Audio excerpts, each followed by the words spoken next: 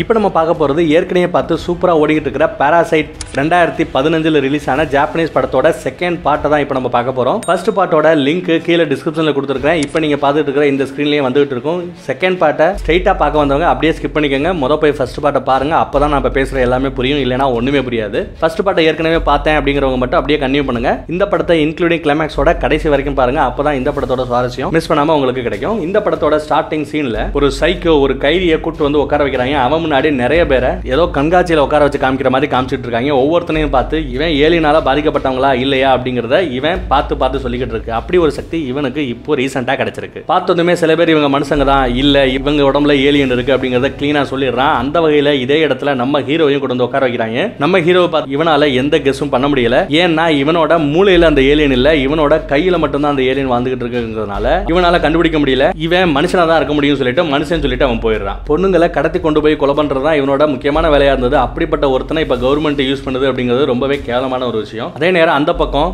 அந்த போலீஸ்காரனுங்க இந்த சிட்டியில் நடந்த எல்லா ஏலியன்ஸ் அட்டாக்லையுமே இந்த பையன் நடுவில் சென்டராக இருக்கா அது மட்டும் இல்லாமல் இவனோட வீட்டை சுற்றி தான் ஏகப்பட்ட அந்த ஏலியன் அட்டாக்லாம் நடந்திருக்கு. ஏகப்பட்ட ஏலியன்ஸும் செத்து போயிருக்கு. ஸோ இவனை சுற்றி ஏதோ நடக்குது. இவனை நம்ம இன்வெஸ்டிகேஷன் பண்ணணும் அப்படின்னு சொல்லி டிசைட் பண்ணுறாங்க அதே நேரம் நம்ம ஹீரோ ஒரு ஏலன் அட்டாக் பண்ணி சாகடிக்கிறான்.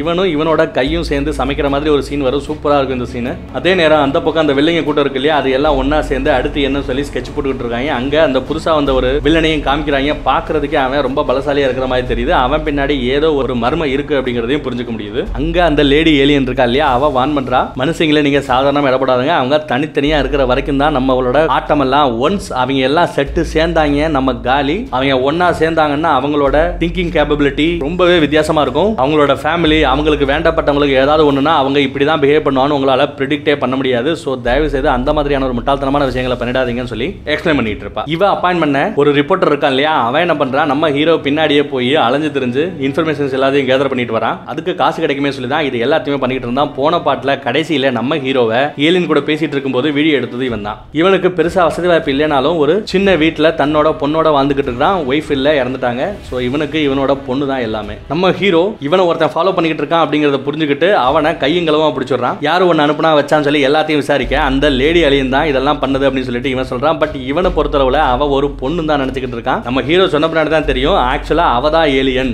எனக்காவது கையில ஏலியன் இருக்கு. அவ உடம்பு முழுசாவே ஏலியன் தான். அதனால ரொம்ப கேர்ஃபுல்லா இருக்குன்னு சொல்லிட்டு வான் பண்ணிட்டு அவனை உயிரோட விட்டுட்டு இவங்க போயிடுறாங்க. அதே ரிப்போர்ட்டர் அந்த ஏலியன்கள் எல்லாம் இப்போ ஒரு கட்சி நடத்தி அந்த கட்சியை வச்சு ஜெயிக்கவும் செஞ்சாங்க இல்லையா? அந்த கட்சி தலைவரையே போய் மைட் பண்ணி இன்டர்வியூ பண்றான். பட் இவன் கேட்ட கேள்வியில வச்சு இவனுக்கு நம்மளை பத்தி இன்ஃபர்மேஷன் தெரிஞ்சிருக்குன்னு புரிஞ்சுக்கிறாங்க. இவனை அட்டாக் பண்றதுக்காக வீட்டுக்கு ஒரு ஆள் அனுப்புறாங்க. அப்போ அவன் இங்க இல்ல. இருந்தது அவனோட பொண்ணு மட்டும்தான். அந்த பொண்ணையும் வெட்டி சாகடிச்சிடறாங்க. இதையெல்லாம் பார்த்ததுமே இவன் அப்படியே அழுது புலம்புறான் இவனோட கோபம் உச்ச கட்டத்தில் இருக்கு. அதே நேரம் அந்த பக்கம் நம்ம ஹீரோவை இன்னொரு ஏலியன் விரட்டுது. இந்த ஏலியனோட உடம்ப பார்த்தோன்னே நம்ம கையில இருந்த ஏலியன் சொல்லிடுது.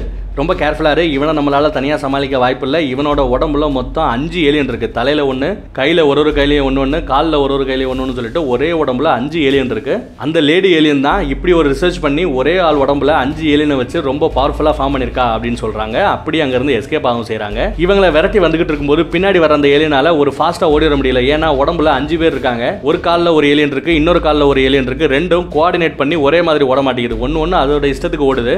ஸோ அந்த தடுமாட்டத்தை யூஸ் பண்ணி நம்ம ஹீரோ சூப்பராக அதோட தலையை வெட்டி சாகடிப்பான். அப்போ அங்கே மனுஷங்க வர அதை பார்த்துட்டு இவன் ஓடி போயிடுவான் இந்த ஏலியன் செத்துடுச்சு அப்படின்னு நினைச்சோம் பட் அதுக்கப்புறம் தான் தெரிய வரும். அந்த பாடியில கையில இருந்த ஏலியன் தலையில போய் உட்காந்துக்குது. தலை துண்டாக்கப்பட்டு கீழே கிடந்துச்சு இல்லையா? அந்த ஏலியன் வந்து கையில உட்காந்துக்குது. இதே மாதிரி ஒவ்வொரு ஏலியனையும் தலையில உட்கார வச்சு அவன் ஏற்கனவே டெஸ்ட் பண்ணிருப்பான்னு நினைக்கிறேன். இப்போ இவன் கம்ஃபர்டபுளா ஃபீல் பண்றான். அஞ்சு ஏலியனுமே ஒரே மனுஷன் உடம்புல கரெக்டா வேலை பார்க்குற மாதிரி அவன் நினைக்கவும் செய்கிறான் அதே நேரம் அந்த பக்கம் அந்த லேடி ஏலியன் இருக்கா இல்லையா? அவ தன்னோட குழந்தைய கூட்டிட்டு அந்த இடத்துக்கு வரா. நீங்க ஏன் இப்படி ஒரு முட்டாத்தனம் பண்ணீங்க? அதுவும் ஒரு குழந்தைய கொண்டுட்டு அப்பனை கொல்லாம விட்டுட்டீங்க. இனிமேல் அவன் சும்மா இருக்க மாட்டான்?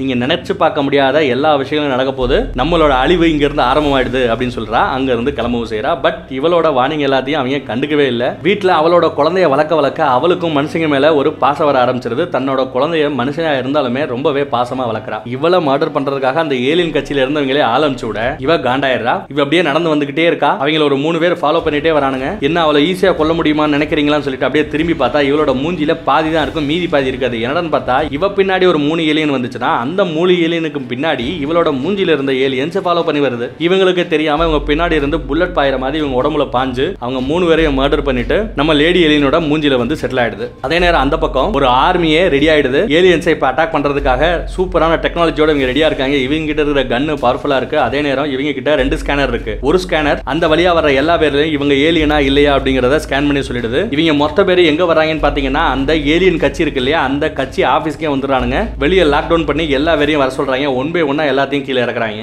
அப்படி அவங்க கிராஸ் பண்ணி போகும்போது ஸ்கேன் பண்ணி பார்த்துட்டு ஏலியன்ஸ் எல்லாத்தையும் தனியா கூட்டு போய் சுட்டு தள்ளி கொண்டுறாங்க அப்படியே அந்த பக்கம் தன்னோட பொண்ணை இழந்துட்டு ஒருத்தர் இருக்கா இல்லையா? அவன் என்ன பண்றான்? நம்ம லேடி ஏலியனோட வீட்டுக்கே போய் அங்க இருந்து அந்த குழந்தைய கிட்னா பண்ணிடுறான். ஒரு பார்க்குக்கு வர சொல்றான். அவளும் அந்த பார்க்குக்கு வரா நான் இப்ப எவ்வளவு கஷ்டப்படுறேன்? அந்த வழியை நீ அனுபவிக்கணும். உன்னோட குழந்தைய நான் கொல்ல போறேன் அப்படிங்கிறான். அதே நேரம் நம்ம ஹீரோவும் இங்க வரான். அவனும் இந்த ரிப்போர்ட்டர் கிட்ட ப்ளீஸ் அந்த தப்பு பண்ணிடாத. அது ஒரு மனுஷ குழந்தை.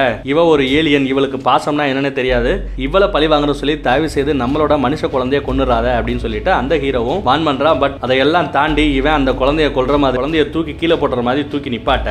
அதே நேரம் அங்க போலீஸும் வந்துருது. இது ஒரு பக்கம் ஓடிட்டு இருக்குன்னா இன்னொரு பக்கம் அந்த கட்சியில இருந்த ஏகப்பட்ட பேரை இன்க்ளூடிங் அந்த கட்சியோட தயார் உட்பட எல்லாரையும் கொண்டுறாங்க ஒருத்த மட்டும் தான் மிச்சம் இருக்கான். அவன் யாருன்னா அவ உடம்புல தான் அந்த அஞ்சு ஏலியனும் சேர்ந்து ரொம்ப பவர்ஃபுல்லா இருக்குது. இவங்க சுடுற அந்த புல்லட்ஸ் எல்லாம் அவனோட உடம்ப ஒண்ணுமே பண்ணாம இருக்கு. அவ்வளவு பவர்ஃபுல்லா இருக்கான். அப்படியே மறுபடியும் இந்த சீனுக்கு வருவோம். இந்த சீன்ல நம்ம லேடி ஏலியன் அவளோட மூஞ்சில இருந்து அந்த கத்தி மாதிரி ஒன்னு ஃபார்ம் பண்ணி குழந்தைய வச்சுட்டு இருக்கான் இல்லையா? அவனோட வயிற்றுக்குள்ளேயே ஒரு ஹோலை போட்டு வெளியே வருது. அவன் கையில இருந்த அந்த குழந்தை கீழே விழ போக அந்த குழந்தையவே அப்படியே தூக்கிக்கிட்டு பொறுமையா கொடுத்துட்டு வந்து தன்னோட கையில அப்படியே தூக்கி வச்சுக்குது.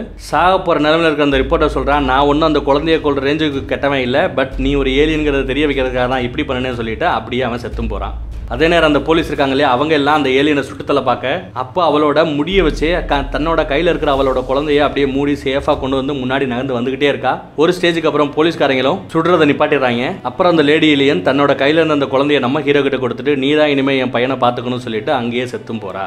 மறுபடியும் அந்த சீனுக்கு போவோம். இப்போ இங்க இருந்த போலீஸ்காரங்க நம்ம ஹீரோயின் கூட்டிட்டு அந்த குழந்தையும் தூக்கிக்கிட்டு அங்கிருந்து கிளம்புறாங்க. அப்போ இந்த போலீஸ்காரங்க ஒரு ஃபோன் வருது. அந்த கட்சி ஆபீஸுக்கு ரைடுக்கு போனாங்க இல்லையா? அவங்க ஏகப்பட்ட பேர் செத்து போயிட்டதாகவும் நம்ம உடனே அங்க போகணும்னு சொல்ல இவன் நம்ம ஹீரோயின் கூட்டிட்டு அங்க போறான். அங்க போனா இந்த போலீஸ்காரனை ஒரே ஷாட்ல அவன் கொண்டுறான் இந்த போலீஸ்காரங்களால இவனை ஒண்ணுமே பண்ண முடியல. நம்ம ஹீரோ அங்க இருந்த காரை எடுத்து பயந்துகிட்டு ஓட இவனை விரட்டிக்கிட்டு அந்த ஏலியன் வந்துகிட்டே இருக்கு.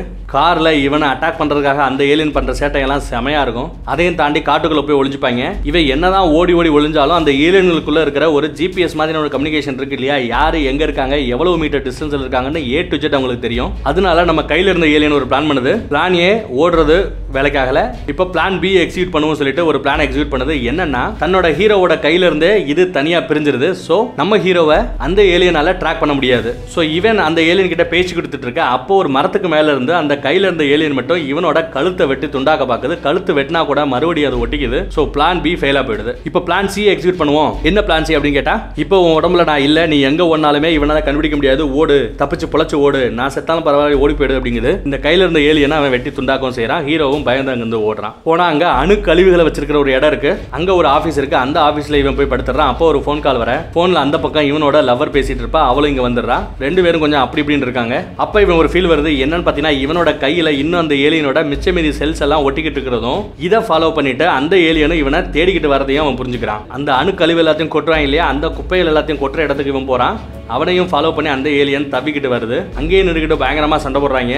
அந்த சண்டையோட எண்டில் அந்த வில்ல நம்ம ஹீரோவை வெட்டி துண்டாக போறான். அப்படி அவன் ட்ரை பண்ணும்போது அவனோட கையும் நம்ம ஹீரோட கையும் முட்டிக்கிட்டு நிக்கும். நம்ம ஹீரோட கையில மறுபடியும் அந்த ஏலியன் வந்துருது. எப்படி நீ உயிரோட இருக்க என்னன்னு கேட்டா லாஸ்ட் நம்ம கையில இருந்த ஏலியன் அந்த வில்லனோட ஏலியன் கூட சண்டை போட்டுட்டு இருக்கும்போது அவனோட உடம்புக்குள்ளேயே பூந்து அவனோட நர்வ் சிஸ்டத்தையே டேமேஜ் பண்ணிட்டதாகவும் இனிமே இவன் அவ்வளவு பவர்ஃபுல்லா இருக்க மாட்டான் இவனை நீ மர்டர் பண்ணிடலாம்னு சொல்லுது. நர்வ் சிஸ்டம் நரம்பு மண்டலமே டேமேஜ் ஆனதுனால இப்போ அந்த ஏலியனால பெருசா சண்டை பண்ண முடியல ஃபைட் பண்ண முடியல அந்த ஏலியனை வெட்டி சாடிக்கிறாங்க. அதோட உடம்பு அப்படியே அழுகி உருகி கீழே போகுது அப்பயும் அதோட இதயம் துடிச்சுக்கிட்டே இருக்கு. அதை அப்படியே தூக்கி கீழே அணுக்கழிவுல கொட்டுற அந்த அந்த அணுக்கழிவு உலையிலேயே இதை தூக்கி போடுறான். அப்படியே அந்த ஏலியனும் அங்க செத்து போகுது. அடுத்த ஒரு ஸ்டேஜ்ல அந்த கையில இருந்த ஏலியன் இருக்கு இல்லையா? அது சொல்லுது இவ்வளோ நாள் நான் உன் இருந்தது போதும். ஒரு ஒட்டுணியாக இருந்தது போதும். இவ்வளோ நாள் இருந்ததுனால நான் என்னோட செல்லோட அடுத்த வளர்ச்சிக்கு போகணும்னு நினைக்கிறேன். நான் ஒரு நிரந்தர தூக்கத்துக்கு போக போகிறேன் அப்படின்னு சொல்லிட்டு அவனோட கையிலேயே மறைஞ்சும் போயிடுது. நம்ம ஹீரோ உட்காந்து அழுது புலம்பிட்டு இருக்கான். அப்புறம் ஒரு நாள் நம்ம ஹீரோவும் ஹீரோயினும் போயிட்டு இருக்கிற அந்த ஹீரோயினை அந்த ஸ்டார்டிங் சீனில் ஒரு சைக்கோ வருவான் இல்லையா? அவன் கடத்திட்டு போய் ஒரு மாடியோட மேலே ஏறி நின்றுக்கிட்டு சைக்கோ மாதிரி பேச ஒரு ஏலியனோட வாயிலேருந்து நான் கேட்கணும். நான் எப்படிப்பட்டவன் நீ சொல்லு. நான் பயங்கரமானவனா? ஏலியனோட பயங்கரமானவனு சொல்லிட்டு முட்டாத்தனமாக மறுபடியும் மறுபடியும் பேசிக்கிட்டே இருக்கான். அப்படியே ஒரு கட்டத்தில் நம்ம ஹீரோயினை வெளியே இருந்து அப்படியே தள்ளி விட்டு கொல்ல பார்க்க நம்ம ஹீரோ ஓடி போய் ஹீரோயினோட கையை பிடிச்சி காப்பாற்ற பார்க்க கையோட உயரம் எட்டாமல் ஹீரோயின் கீழே விழுந்து சாக போகிறா அவ்வளவுதான் முடிஞ்சு போச்சுன்னு சொல்லிட்டு நம்ம ஹீரோ அப்படியே உட்காந்து அழுதுகிட்டு இருப்பான். அழுதவன் அப்படி லைட்டா நிமிந்து பார்த்தா கீழே விழ நினைச்ச அந்த ஹீரோயின் இருக்கா இல்லையா அவ இவனோட கையில மறுபடியும் தொத்திக்கிட்டு இருப்பா. இங்க ஒரே ஒரு பாசிபிலிட்டி தான் இருந்திருக்கும் அதை நம்ம காமிக்கல. என்ன பாசிபிலிட்டி அப்படின்னா நம்ம ஹீரோவோட கையில இருந்து அந்த ஏலியன் நீண்டு போய் நம்ம ஹீரோயினை காப்பாத்தி மறுபடியும் நீண்டு வந்து இவனோட கையோடய ஒட்டி இருக்கணும் அதனாலதான் இவங்க ரெண்டு பேரும் இப்போ தொங்கிக்கிட்டு இருக்காங்க. நம்ம ஹீரோயினை கீழே விழாம அவன் பிடிச்சிக்கிட்டு இருக்கான். எப்படியோ காப்பாத்தி மேல விழ தன்னோட கையில இருக்கிற அந்த ஏலியன் ஒரு அனிச்சை செயல் மாதிரி தேவையான இடத்துல மட்டும் வந்து காப்பாத்தி இருக்கிறத புரிஞ்சுக்கிறான். இதோட இந்த படத்தோட ஸ்டோரி முடியுது. செம படம். மிஸ் பண்ணாம பாடுங்க. கண்டிப்பா எல்லாருக்கும் பிடிக்கும். தேங்க்யூ